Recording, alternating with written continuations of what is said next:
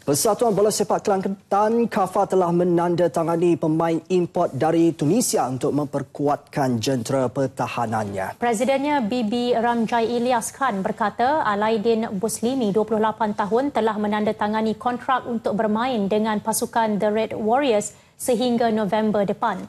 Pemain itu akan bergandingan dengan pemain import dari Brazil, Casio Francisco dan menggantikan Nick Muhammad Syahrul Azim Abdul Halim yang menyertai PKNSFC. KAFA sebelum ini telah melakukan rombakan dengan penamatan beberapa kontrak pemain termasuk pemain import dari Brazil, Bruno Lopez kerana gagal menyumbang kepada pasukan dalam perlawanan. Aladdin dijangka diturunkan pada perlawanan menentang Kuala Lumpur dalam Liga Super di Stadium Ceras selasa ini. KAFA juga dijangka melepaskan dua lagi pemain importnya iaitu Margaro Gomez dari Perancis dan Do Dong Hyung dari Korea Selatan.